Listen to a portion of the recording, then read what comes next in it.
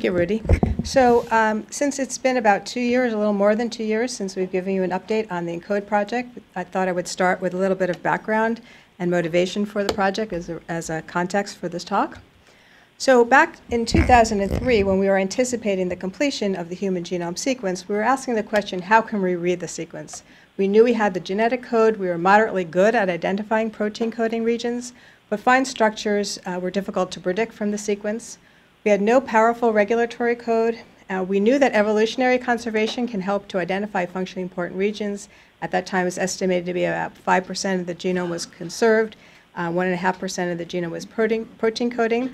We were really interested in finding out what the function of the non-coding conserved sequences um, are, as well as the function of the non-conserved sequences. Also, over the last number of years, we have an increasing understanding that non-coding DNA is important for disease and evolution. We know now that about 90% of GWAS findings lie outside of protein coding regions. We know that non-coding DNA variants um, can cause human diseases and alter human traits, such as in the Fragile X syndrome and ALS. And also about 80% of recent adaptation signatures lie outside of protein coding regions. So back in, in 2003, we started the ENCODE project, it stands for Encyclopedia of DNA Elements. And the goal is to compile a comprehensive encyclopedia of all sequence features in the human genome and in the genomes of select model organisms. One of the hallmarks of this project is rapid pre-publication data release. We really wanted to create a resource that was freely available to the community to enhance our understanding of gene regulation as well as the genetic basis of disease. This slide is a cartoon of the various data types that are being generated um, by the ENCODE resource. I don't have time to go into this in detail, I just want to point out that the consortium uses a number of high throughput technologies that are primarily sequence based, uh, including, for example, ChIP-seq and RNA-seq, to measure a number of different biochemical properties of the genome, including uh, mapping of transcription factor binding sites, histone modifications, um, DNA methylation, and, and, RNA transcription. And all of these data are then mapped into the genome um, to map transcripts, genes, uh, promoters, and putative uh, um, regulatory regions such as enhancers.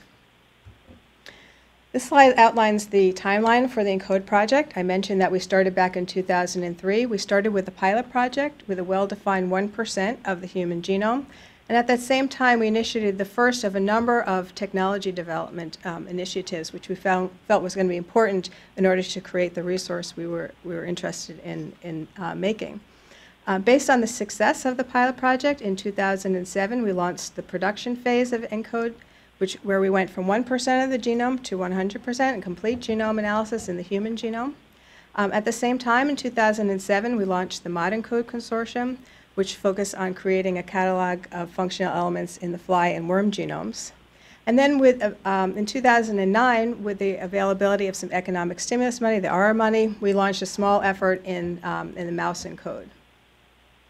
Um, these uh, projects ended in 2012, and when we started ENCODE, ENCODE Phase 3, which we're half, about halfway through now, we focused on um, expanding the catalog in the human and mouse genomes. Um, and we added in some computational analysis program um, as well. We felt that it was important to expand the expertise in computational analysis in order to best make use of the ENCODE resource.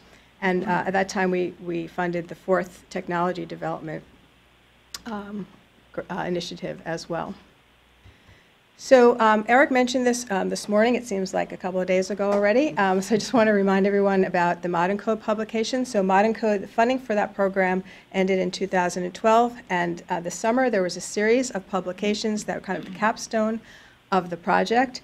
Um, this included uh, wormfly and human comparative analyses. There were three main integrated papers published in Nature at the end of August. These are focused on transcription, chromatin, and regulation. And um, these papers found um, that there were commonalities in these processes across these three evolutionary, uh, quite diverse organisms. Um, in addition, there were about uh, at least 15 companion papers that were published in Nature, Genome Research, Genome Biology, and other journals. Um, that, was, that, was, this summer. And those joined another approximately 150 publications that the ModENCODE Consortium had already published. And there was an additional 150 publications or so that were um, published by the researchers outside of the consortium, and, but they were using the ModENCODE data. Um, we have compiled all of the um, information about the modern, these ModENCODE publications um, at the Encode portal at Stanford, the www.encodeproject.org backslash comparative. You can get links directly to the data and as well as all of these publications, and hopefully that will make it easier for the research community. Okay, so I just want to expand a little bit on the goals of ENCODE 3, which is, um, we're in the current phase of uh, ENCODE 3 phase. Um, we wanted to expand towards the completion the catalog of functional elements in the human and mouse genomes. We added additional cell types, including more primary sources, additional data types such as RNA binding proteins, which had not been uh, included in ENCODE 2. We're continuing to generate high-quality data using high-throughput pipelines. We're developing new technologies and analytical tools to generate, analyze, and validate the data. And we're providing the data and tools to the community in as useful form as possible. We're uh, wanting to provide easy and rapid access. Um, a key thing is to provide sufficient metadata so people understand how the experiments were performed. Um, we want to describe various ways to use it and also recognize the, the um, diverse needs of, of different types of users. This slide outlines the structure of the ENCODE 3. There are seven uh, data production groups. They deposit their data into the Data Coordination Center, which performs um, quality assessments. They house the data and they just um, make the data available to the research community. Um, the data is taken up by the Data Analysis Center, which supports the activities of the analysis working groups. Uh, this is where the computational analysis groups um, are involved. And the output are gene models, chromatin states, and um, uh, candidate functional elements, which in toto uh, are, represent the encyclopedia. Um, I think Eric also mentioned this this morning, but one of the features of the current phase of ENCODE is we have a revised data release policy. Uh, the key point is here where external data users may freely download, analyze, and publish results based on any ENCODE data without restriction as soon as the data are released. We just ask that the consortium is acknowledged as well as the individual uh, data producers and the specific accession numbers. Uh, additional ENCODE 3 features include uh, cloud computing. We heard a little bit uh, about that this morning. Um, the data is available at Amazon Web Services or AWS. We are creating uniform processing pipelines that will be available at DNAnexus, and this provides transparency about how the ENCODE data is processed. And um, these pipelines are also available for the broader community to use on their own data and will be continually updated as the pipelines are, are, um, are updated. We've taken the lead on data interoperability. We're coordinating ontology selection and metadata standards with related projects. And I just want to say a word about the genomic sharing policy that was mentioned earlier today. In addition to rapid pre-publication data release, um, ENCODE is, is continuing to work ahead of this policy. If you recall, it's not going to be in place until January of 2015. That's for new projects. But we've been working to develop sample consent language for open access for genomic data, and we're currently working to obtain a wide range of samples using the new consents. Okay, there is a new ENCODE portal um, at www.encodeproject.org, which is um, hosted at, uh, by Stanford University, the Data Coordination Center. We hope there, um, that the community will find uh, the enhancements that are made on this portal um, useful in accessing the data. I just want to point out a couple of different features. Um, if you click on the data tab, you can get access to the assays, the biosamples, and the antibodies that, um, and the characterization of the antibodies. And there's uh, metadata-driven searches that could really help one narrow down um, to get to the, the, data types of interest. I've shown one example here where you can click on different um, tabs on the uh, left side of the panel here. If you're interested specifically um, of all the assays, you're interested in, in ChIP-seq data, you can click on that. If you're interested um, exclusively in mouse data, you can click on that. Uh, different biosample types if you want to use primary tissues. Um, and then looking specifically at the organs, you can actually cl click on multiple ones. Here I've clicked on, on liver and kidney. And then looking at the life stage, you're looking specifically for embryonic tissue. And uh, here it shows 28 uh, samples, uh, data type, data sets that uh, are fit these criteria. And this will um, hopefully enable the researchers to find what they're looking for. ENCODE has, has developed a number of data standards and software tools. If you click under methods, you can find a lot of this information. There are experimental guidelines, including data standards for many of the common um, assays that are used in ENCODE.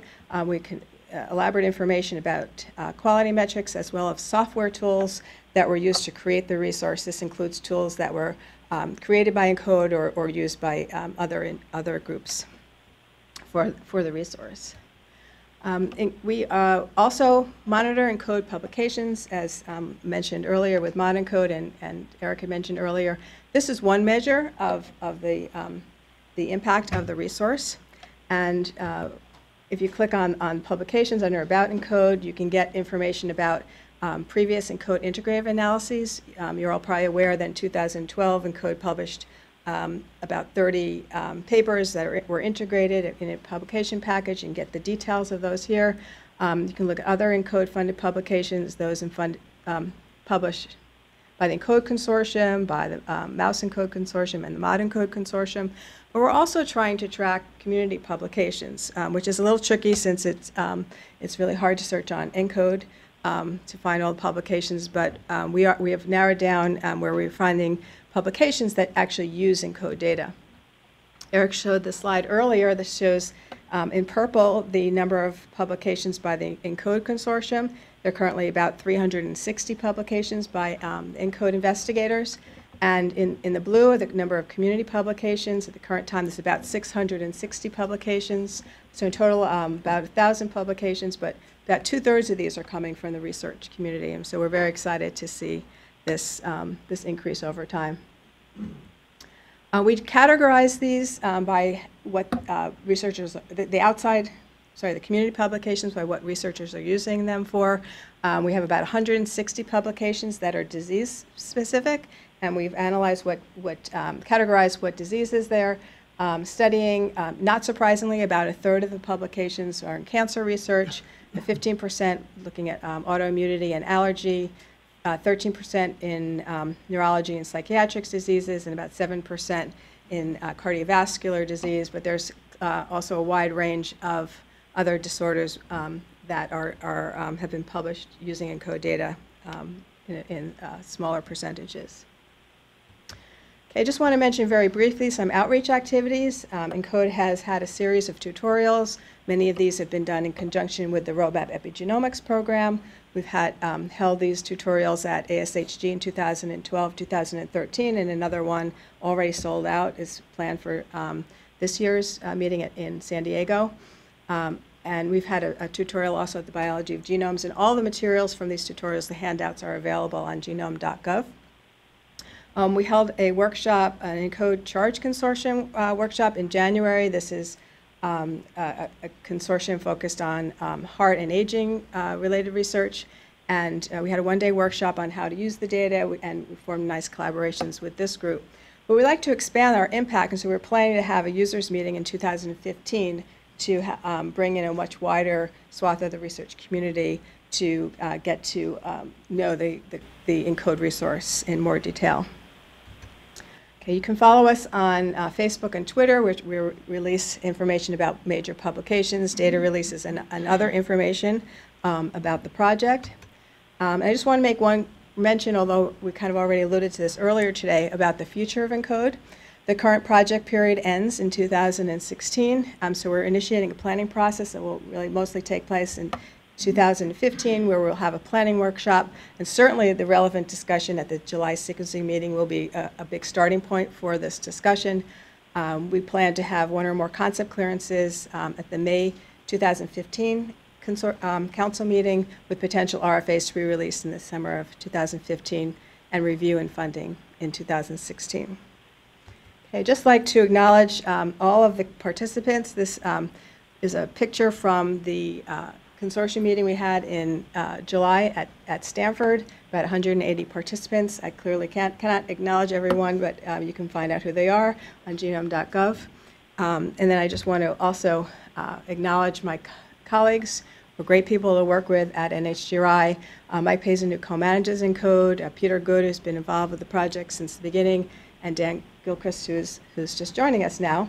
Uh, I want to acknowledge a tremendous support that we get from Jeff Schloss, our division director. And we couldn't do our jobs without um, great program analysts. We've had a series of analysts over the years. Um, and current, our current analysts are Julie Corson and Hannah Naughton, who you were introduced to this morning. And with that, I will be happy to take questions and probably bring up my colleagues here to help answer them. Questions. Actually, before we take questions, I should really point out that uh, real kudos go to uh, the ENCODE group around the one point Elise made about um, really getting ahead of the genomic data sharing policy and working out consents and some of the things they didn't have to be ahead. They could have waited and just, but uh, conform with them when the policy, but it really was an example of a lot of hard work, both on program staff at the Institute, but also members of the consortium who have been just amazingly uh, willing to uh, really try to get ahead of these big challenges and help pave the way for how it's going to have to be done as the data sharing policy gets implemented. So kudos to all of them. Thank you. Eric. And I d- Can I just point out, also, this is another example where we had tremendous amount of help, not only from, from Laura Rodriguez and her group in policy, but also in the um, GM Society Division. So, Dee Dee. And you've done a great job and, and big successes in this program. So I, I'm thinking about our discussions on the concept clearances today. Is there a plan to have some discussion about your thoughts on what will be coming in May at the February council? Because I think it could be helpful and also thinking about opportunities for leveraging the different programs with the sequencing efforts. Right, so we probably won't have held our planning meeting in February, but we can certainly share with you our plans. We will, we will have done much of the planning for that planning meeting and put a lot of thought into it, getting input from additional people. So we can certainly keep you um, uh, up to date on it at that point. I know we've, we've talked about this before, Elise, uh, with the organization of the new plans that are coming and the existing sequencing plans. It'd be great, and I wanted to know what your thoughts are on um, coordinating, you know, the g- genomes that are going to be part of these disease uh, uh, focused uh, uh, SNP projects or discovery projects with the functional projects, right? We talked a lot about that uh, in various ways through the meeting as well as at the, uh, at the workshop. And I think it would be a great opportunity this time where we missed a few of those last time because of logistics, consenting, et cetera, et cetera. What are your thoughts on that? Yeah, so we're very interested in exploring all those kinds of options and, and don't want to recreate the wheel and want to be able to synergize projects as much as is feasible. Uh, There are probably logistical um, and technical things that may not make it as easy as it sounds, but we're definitely open to those models. And ideally, you know, if we could blow everything up and start over, we would do them all at the same, same time. Other comments, questions? Eric? I guess my question, it's related to Joe's comment, is, you know, looking forward, if the large-scale centers, whatever, how many, whatever, are focusing on these common diseases, most likely looking at whole genomes for a major portion of their work, is what can be done to coordinate and target cell lines and tissue sources that would complement the diseases that are being targeted. And I guess, you know, Adam's probably having a heart attack over here because it probably sounds like, oh, you need a coordinating center, right? and, um, but on the other hand, I think a lot can be done at the investigator level and the institute level to make sure these various activities are not just going in parallel. There's a lot of crosstalk and, and, and complementary activities. Agreed. just building on that, so when they're selecting samples and all that, it should be thought of more broadly as not just the sequencing centers, but being able to use those for encode and other things that, where they could leverage all the results from that. So- So getting, having access to the tissues and not just the DNA.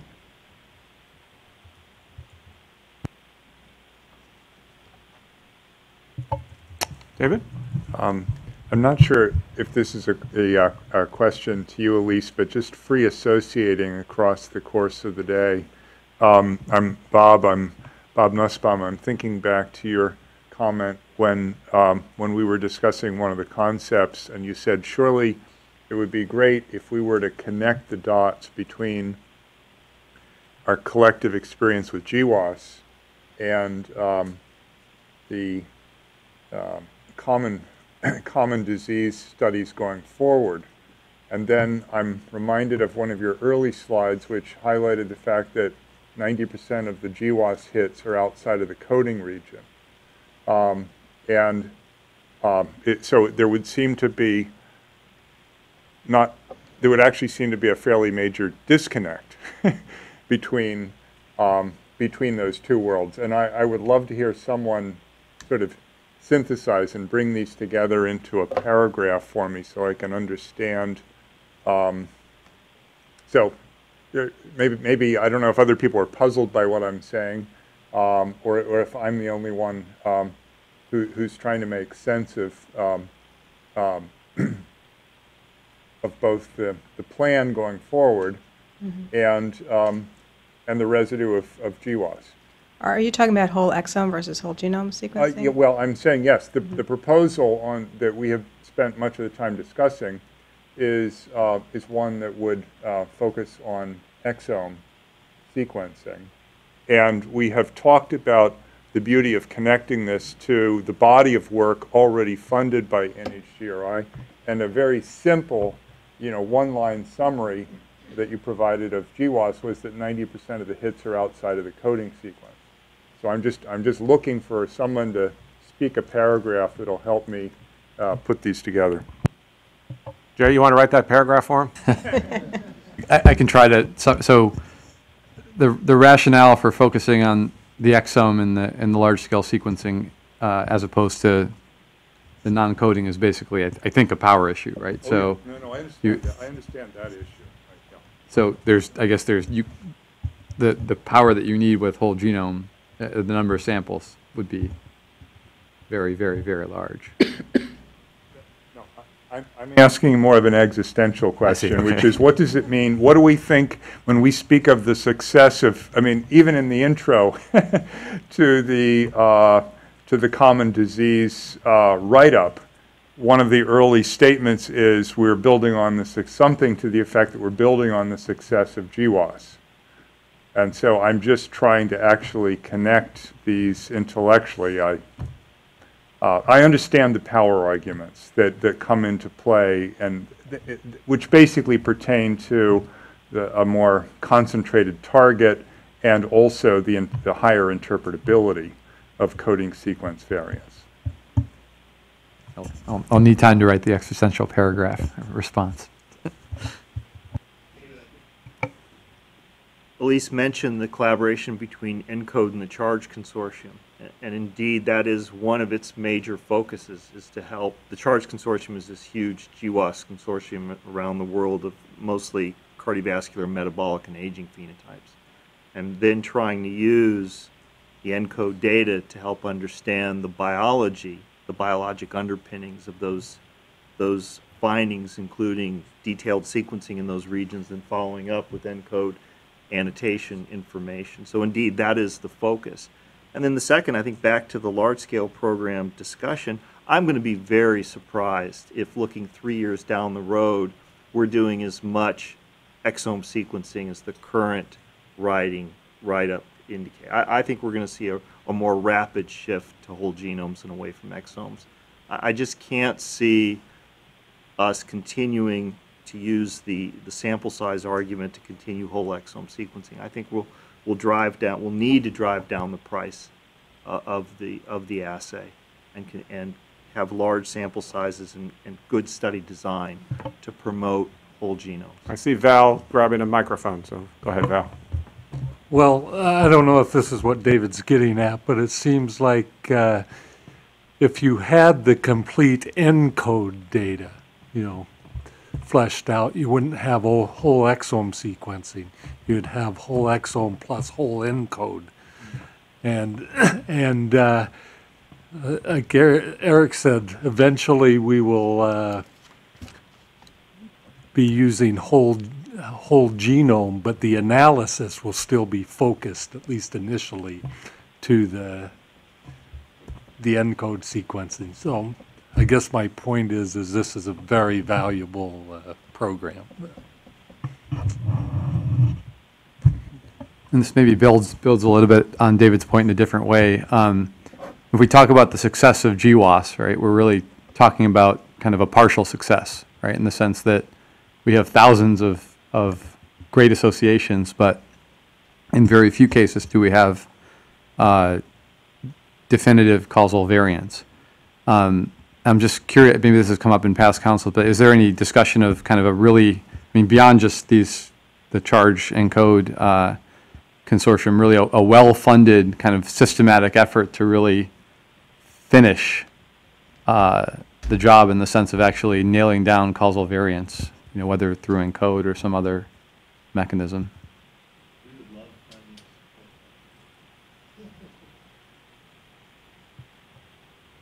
Does anyone in the back want to, any of the program directors want to speak to that? We- We have, we're moving in those directions.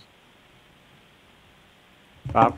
I just wanted to, to single out something in particular that I, I've had happen to me recently, and that is, um, I, when I talk about GWAS uh, and other, um, many other aspects of genomics to the internal medicine residents I work with, their eyes rapidly glaze over.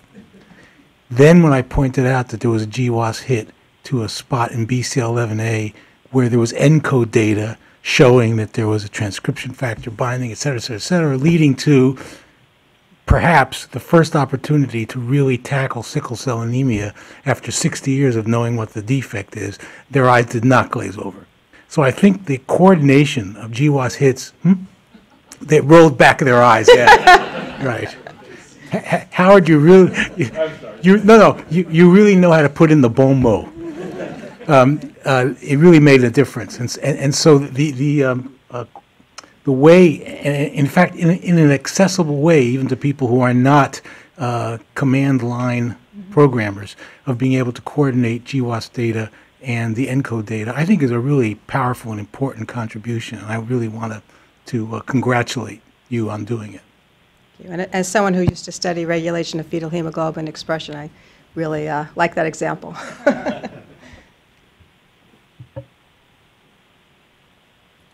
Okay, thank you, Elise, and Encode team.